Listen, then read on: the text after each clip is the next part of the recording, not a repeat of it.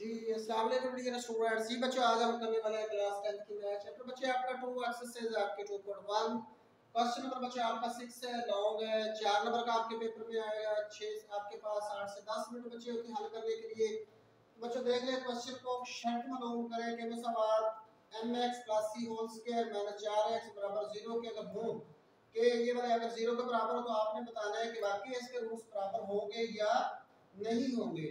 दूसरी बच्ची बात ये किस शर्त के तहत होंगे? तो कहते हैं इसके रूट्स बराबर होंगे, लेकिन किस शर्त के तहत होंगे? तो बच्चों, आपने शर्त मालूम करनी शर्त का मतलब है कि आपने इसमें से x की कीमत जो होती है, वो आपने फाइंड आउट करनी है। बाकी बच्चे x की कीमत जो भी निकलेगी वो नहीं आपने निकालनी आपने सिर्फ़ इसमें x की कीमत फाइंड आउट करके बताना है कि जो भी आपकी कीमत निकले, उसी कीमत को अगर दोबारा इसमें सवाल में दर्ज कर दे तो इसके रूट्स जो होंगे वो बराबर हो जाते हैं। और रूट्स बच्चे बराबर होने का मतलब यही होता है ये आपके फ़र्क में वाला फार्मूला जो है, b का स्क्वायर माइनस 4ac इसको ज़ीरो के बराबर होना चाहिए। ये है आपका फ़र्क में वाला। कि आपके रूट्स और सूत्र बराबर होते हैं, जब बच्चे आपके फ़र्क में बराबर हो सिफर के। जी बच्चों, देखते हैं जी हम। पहले बच्चे हम इसको क्या करेंगे? सिंपलीफाई करेंगे। इसके बाद इसको हल किया जाएगा आपके पास क्वेश्चन बचे mx c इस होल का स्क्वायर है। माइनस के आपके पास है 4x और बराबर बचे आपका 0 तो पहले बच्चे हम इसके लिए फार्मूला खोलेंगे। तो पूरा आपने फार्मूला लगाना है। पहली रकम का स्क्वायर प्लस दूसरी रकम का स्क्वायर प्लस टू इंटू पहली रकम एम एक्स इंटू दूसरी रकम सी और ये आपके पास है माइनस फोर ए एक्स बराबर बच्चों आपके पास है ज़ीरो के। इसको ले जाएगा तो ये आपके पास आ जाएगा एम का स्क्वायर एक्स का स्क्वायर प्लस सी का स्क्वायर प्लस आपके पास आ जाएगा two M C X minus four A X बराबर बचे आपके ज़ीरो के m का स्क्वायर x का स्क्वायर तो बच्चों, x वाली आपके पास दो रकमें हैं, इनको हम इकट्ठा करके लिख लेंगे। आपके पास आ जाएगा 2mcx minus 4ax plus c का स्क्वायर और पर बच्चों, आपके ज़ीरो के।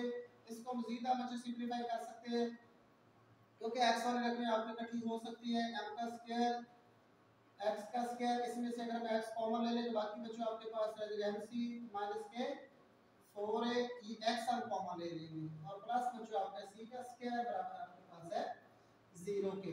तो बच्चों, आपने ये सारी चीज़ें दर्ज करनी होती है, इसके फ़र्क होने वाले फार्मूले में, क्योंकि आपके रूट सिर्फ़ उस वक्त बराबर होते हैं। लिखना चाहिए तो बच्चों आप लिख भी सकते हैं। यहाँ पर लिखे के रूट्स उस वक्त होंगे? जब आपका फ़र्क पुरिंदा ये बी का स्क्वायर माइनस चार ए सी ये बराबर बच्चों आपके हो ज़ीरो की। तो अब बच्चे, अब सिर्फ़ आप इस फार्मूले में क्या कर देनी है? कीमत दर्ज कर देनी है। इसलिए आपको ऊपर पहले बच्चे इसका ए बी सी लिखना पड़ेगा। तो आपको बाद में कीमत जब दर्ज करेंगे, आपके पास ए बी सी होगा तो आप कीमत दर्ज करेंगे तो बच्चों इस तरह ए बराबर आपके पास आ जाएगा एम के स्क्वायर के। और बी बराबर आपके पास आ जाएगा टू एम सी माइनस के फोर है और सी बच्चों बराबर आपके पास आ जाएगा सी का स्क्वायर अगर सी का स्क्वायर है तो ठीक है, जिस तरह आपके पास बच्चों, आपको उसी तरह लिखना होता है। अब बच्चों, आपने इस फार्मूले की कीमत दर्ज कर ली बी की जगह पे आपके आ जाएगा टू एम सी माइनस के फोर है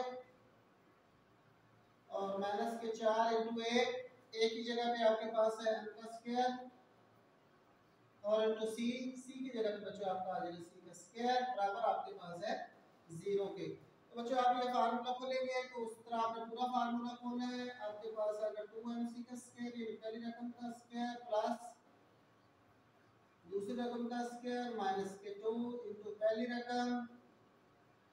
और इंटू बच्चों, आपके पास आ जाएगा ये वाला। दूसरी रकम माइनस के फोर एम का स्क्वायर सी का स्क्वायर और बराबर बच्चों, आपके पास ज़ीरो के। ये फार्मूला खोलेंगे तो आपके पास फोर एम का स्क्वायर सी का स्क्वायर प्लस सिक्सटी ये सोलह ए का स्क्वायर माइनस इनको मल्टीप्लाई करेंगे तो आपके पास बचे आ गए दो को चार से दो से चार और चार चार से मिलकर तो आपके पास है सोलह।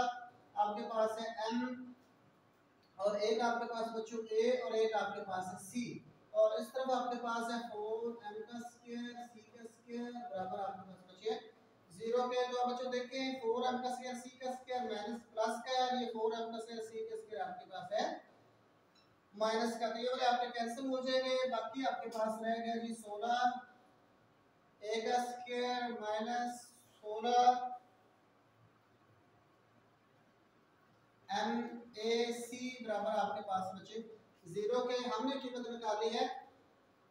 ए की तो बच्चों, इसमें से ए हम कॉमन भी ले सकते हैं। चाहे आप सोलह ए कॉमन ले लें उस रूप में भी हो जाएगा। नहीं तो ऐसे कर लेते सोलह ए का स्क्वायर ये वाली रकम आप दूसरी तरफ़ ले जाए और उस तरफ़ ही आपके रह जाएँगे सोलह एम सी ए सोलह ए को दोनों तरफ़ डिवाइड कर दें। तो उस तरह बच्चों, आपके पास 16 16 से कैंसिल हो जाएगी, आपका 16 16 से गया, आपका ए ए से कट जाएगा। तो बच्चों ए का स्क्वायर ये ए ये ए, ए से निकल जाएगा तो आपके पास रह जाएगा ए और ये बच्चों बराबर आपके पास रह जाएगा ए की कीमत आपके पास आ जाएगी एमसीए तो चाहे बच्चों आप 16 ए कॉमन ले लें फिर भी आपका ठीक हो जाएगा। ये भी अगर आप इसमें से बच्चों 16 ए कॉमन ले लेते हैं और बाकी आपके पास रह जाएगा ए माइनस सोलह है आपका कॉमन आ गया बाकी आपके पास रह जाएगा ए सी बराबर बच्चों आपका ज़ीरो के बटा सोलह और इस तरह भी बटा सोलह ए कर देंगे आपका कैंसिल हो जाएगा। ए माइनस एम सी बराबर आपका ज़ीरो आ जाएगा। तो ये एम सी आपका राइट साइड पे चला जाए तो ए बराबर। एम सी आ जाता है, चाहे बच्चों आप इस तरीके से निकाल, चाहे आप इस तरीके से निकाल, ये कोई ऐसा इशू नहीं है कि आपने इसको किस तरीके से बच्चों हल किया है। तो शर्त मालूम करने का मतलब बच्चों ये कि आपने इसमें एक ही कीमत जो होगी वो फाइंड आउट करनी है कि कितना होगा। अब बच्चे चाहे तो आप ये वाली एक ही कीमत इसमें इसमें पुट करके भी आप मतलब इसको साबित कर सकते हैं बराबर बी के आता है। क्योंकि आपके एमसीएक्स से तो बच्चे, आपके पास पहले ही है, जो आपने ये वाला फार्मूला आपने खोला था, ये वाला फार्मूला आपके पास था। और अगर हम ए वाली कीमत दर्ज कर दें यहाँ पर, ये वाली आपके पास जो कीमत ए सी यहाँ पे आपकी कीमत दर्ज कर दें। ठीक है जी? तो बच्चों, आपका ये बी का स्क्वायर माइनस चार ऐसे बराबर आपके पास ज़ीरो के आ जाता है, क्योंकि ये शर्त आपने सिर्फ़ मालूम करनी है ये की कीमत ही फाइंड आउट करनी है कि अगर के रूट्स बराबर साबित होती हैं कि नहीं? अगर इनकी कोई भी कीमत आपकी निकल आएगी अस्सलाम वालेकुम रहमतुल्लाहि व बरकातहू